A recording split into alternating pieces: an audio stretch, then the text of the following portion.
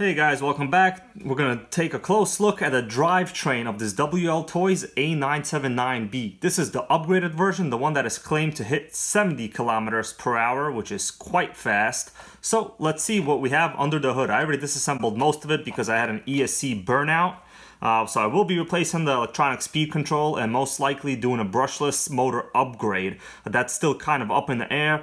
Uh, you know, I really appreciate if you guys put in the comments below if you want to see me put in another brushed ESC into this or a complete uh, 10th scale brushless system. It looks like right now I'm going to be going with a brushless motor only because I already have an electronic speed control. I just need to get like any cheap 540 size brushless motor and put it in here. I could probably pick it up for $15, which is a bargain. All right, so this is what it looks like. We have the complete chassis right here. So there's a lot of issues you could read up online and people saying comments that these things break, the diffs are terrible. Well, I'll tell you this, it's honestly kind of robust. You could tell you have a full metal drive set here. You have metal out drives, you have uh, metal dog bones, you even have a pretty solid looking metal center drive shaft right here look at that and it is supported with bearings which is really nice actually. So a lot of these cheaper kits especially under 100 bucks they have bushings. This has bearings. Really nice touch guys but look at this giant pinion gear. This is probably the largest pinion gear I think I've ever seen in an RC car. Usually you go up to about, you know, 23 teeth and that is considered huge. This is enormous. I don't even know what it is. I'm not going to count it, but it looks huge.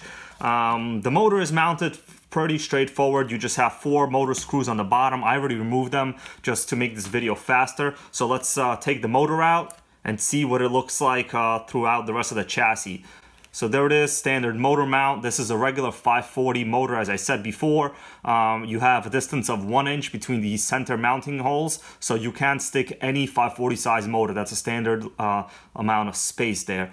Interesting, actually. This says uh, 7916. So I bought this RC about a year ago. So it looks like the motor was manufactured a year before I actually purchased it. I've never seen that before. It doesn't say the amount of turns, but it's fairly fast. I probably would suspect that this really is kind of a stock motor.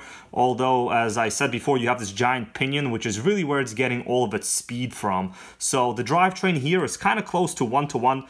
Look at that uh, ratio of the spur gear to the pinion. It's pretty much close to one to one. So the closer you get that one to one ratio, you do have a much faster RC car. And that's what we have here. So now let's take a look at the differential. Uh, we just have two screws here. I'm gonna undo these screws and we'll take a look at the diff gears inside.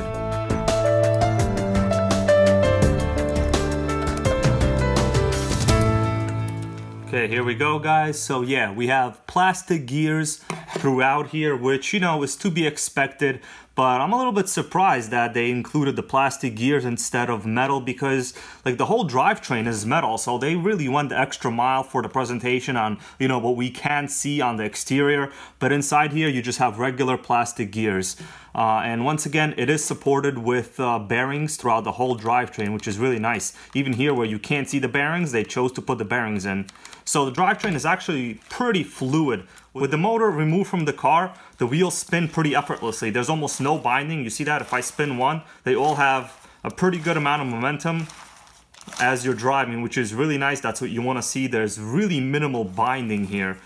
Another nice touch on this model is the fact that it actually does have oil-filled shocks. Now I will tell you they are pretty terrible, so I did add oil into these earlier, and look at that rebound weight. It is pretty horrible, but you know what? It's a lot better than not having any oil-filled shocks, and you know what? I have pretty thick viscosity oil in here. This is a 100 weight oil in here, and it is still kind of really bad. It is not as bad as it was from the factory. There was no oil in here at all. Uh, it was basically dry, but you know what? These shocks do hold oil, and none of it has leaked out.